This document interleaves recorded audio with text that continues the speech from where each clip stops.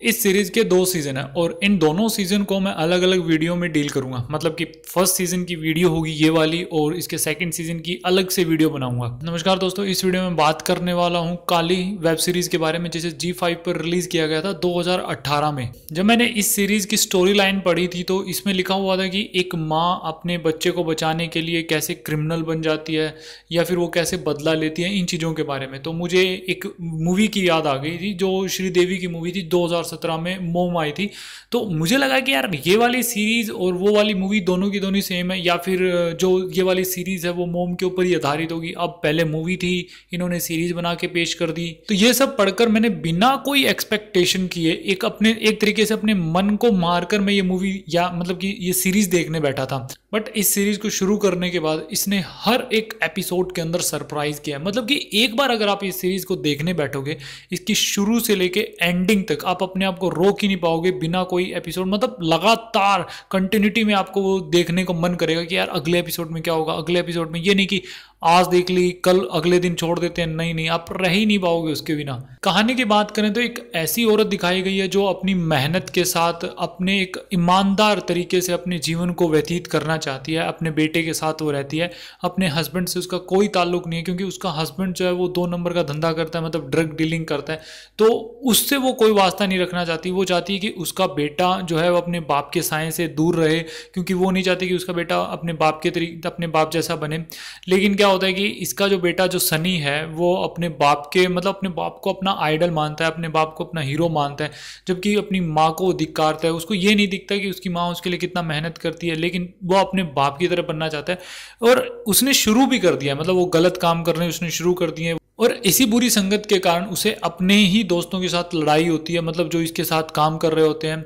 तो इसका अपना ही दोस्त इसे एक बिल्डिंग से धक्का दे देता है, जिसके कारण उसका एक, उसे बहुत ज़्यादा सीरियस इंजरीज होती हैं, उसका लंग भी डैमेज हो जाता है। काले को जब ये बात पता चलती है तो उसे हॉस्पिटल में एडमिट करवाया जाता है और डॉक्टर उसे कहता है कि जल्द से जल्द ऑपरेशन करवाना पड़ेगा और छः लाख रुपये जैसे जैसे इंतज़ाम करने पड़ेंगे, क्योंकि उसके दोनों ही लंग्स जो है वो ख़राब हो चुके हैं। उसे सांस लेने के लिए एक आर्टिफिशियल लंग्स की ज़रूरत पड़ेगी। यहीं से शुरू होता है, काली का छः लाख रुपये इकट्ठे करने तो वो कैसे क्रिमिनल बनती है या फिर कहें कि कैसे उस घटिया दुनिया ड्रग की दुनिया में जाती है, क्योंकि वो अपने हस्बैंड के पास जाती है तो उसका हस्बैंड कहते हैं कि एक जो ड्रग की पुड़िया है, वो अगर तू बेचेगी तो तुझे तीन लाख रुपए मिल जाएँगे। जब वो उसे बेचने जाती है तो कैसे जो ड्रग माफिया जो होते हैं उसे अंदर और खींच लेते हैं ताकि वो ड्रग पैडलिंग के धंधे में और अच्छे से आ जाए। और जब काली जो है ये ड्रग पैडलिंग कर रही होगी और जैसे तैसे अपने आप को बचाने की कोशिश कर रही होगी, आप देख देख कर यही सोच रहे हो प्लीज़ यार ये यहाँ पे बच जाए, इसको कोई ना पकड़े प्लीज़ ये बच जाए। मतलब इतने ज़बरदस्त तरीके से आप लोगों को ये अपने साथ कनेक्ट करने वाली है। काली को अपने बेटे सनी की जान बचानी है, इसका फ़ायदा वो ड्रग डीलर उठाते हैं। कोलकाता में दो ही बड़े बड़े ड्रग डीलर हैं, एक का नाम है दिलीप, एक का नाम है हसन।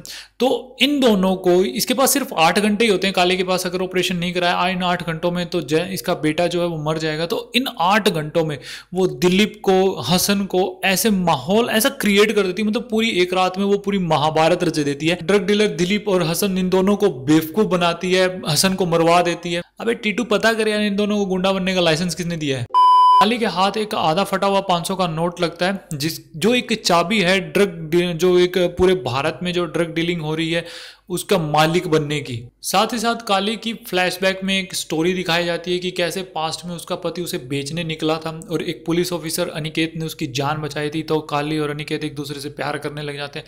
लेकिन काली भी मैरिड है, उधर अनिकेत भी मैरिड है बट इस मैरी के चक्कर में वो एक दूसरे से शादी नहीं करवाते। और फिर कैसे ये जो इसका पास्ट था काली का आज उसके प्रेजेंट को इफ़ेक्ट करता है? मतलब ये जो निकेत है, वो क्राइम ब्रांच का ऑफिसर बन चुका है, वो उसकी हेल्प कर रहा है उसको, उसके बेटे को बचाने में, उसको उस जुर्म की दुनिया से बाहर निकालने में। इस सीरीज़ में कुछ एक ऐसी चीज़ें हैं जो आपने एक्सेप्ट भी नहीं की होंगी, वो आपके सामने आती है। जैसे कि वो 500 का नोट वो किसने सोचा था कि यार एक ऐसा राज का भी पता चलने वाला है इसके अंदर? बट इस फ़र्स्ट सीज़न में, इस 500 के नोट के बारे में ज़्यादा इन्फॉर्मेशन नहीं दी गई, क्योंकि इसके बारे में लास्ट में पता चलता है और लास्ट में बस एंडिंग ही हो रही होती है तो इसके बारे में ज़्यादा कुछ पता नहीं चलता। कुछ एक नेगेटिव चीज़ें हैं इसके अंदर, जैसे कि इसका स्क्रीन प्ले अच्छा हो सकता था। अगर एक्टिंग की बात करूँ तो एक्टिंग को और भी ज़्यादा इंप्रूव किया जा सकता था। और कुछ एक ऐसे सस्पेंस रखने की कोशिश की गई है। यकीन मानो, अगर आपने थोड़ा सा भी अगर इसको ध्यान लगा के सुनोगे तो वो जो छुटपुट से सस्पेंस है। वो आप बस ऐसे चुटकी बजाते इनको सोल्व कर दो यार अच्छा उसके पीछे ये इंसान था।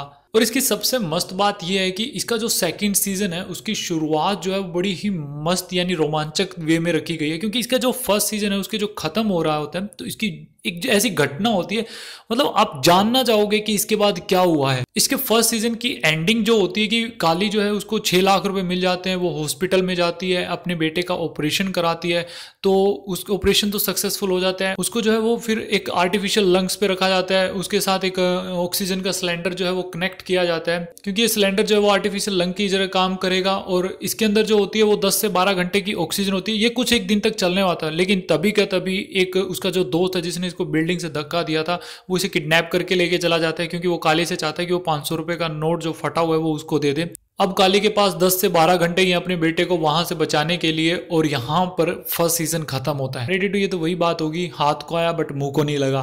इस सीरीज़ के अंदर टोटल आठ एपिसोड है। अब मैं ये नहीं कहूँगा कि इन आठ एपिसोड को कम किया जा सकता था, बल्कि जो आठ एपिसोड है वो इनफ है, क्योंकि इतने छोटे छोटे एपिसोड है मतलब पूरे की पूरी सीरीज़ जो ये आठों एपिसोड है, वो तीन घंटे के अंदर खत्म हो जाते हैं तो ये इनफ है। ना इससे ज़्यादा होने चाहिए थे, ना इससे तो एकदम बिल्कुल परफेक्ट है ये इन सीरीज़ एपिसोड के मामले में। बेशक आप इस सीरीज़ को बेफिक्र होकर इसको देख सकते हैं। आपको इस बात की कोई टेंशन नहीं लेनी चाहिए कि हाँ इस सीरीज़ को देखने से क्या आपका टाइम खराब होने वाला है या आपका दिमाग ऐसा कुछ नहीं होने वाला है, बल्कि आप इसे इंजॉय करोगे, इसमें सस्पेंस है स्टोरी है एंटरटेनमेंट है तो कुल मिला के आप लोगों को एक एंटरटेनमेंट का एक पैकेज मिल रहा है यहाँ पे। मेरी तरफ़ से काली सीरीज़ के फ़र्स्ट सीज़न को मैं देना चाहूँगा eight out of ten star अगर आप लोगों ने ये सीरीज़ इसका फ़र्स्ट सीज़न देख लिया है तो प्लीज़ मुझे बताना कि आप लोगों को इसमें सबसे ज़्यादा इंटरेस्टिंग आपको क्या लगा। खैर बस, आज के लिए इतना ही था इस वीडियो में। Thanks for watching this video मिलते हैं नेक्स्ट वीडियो में।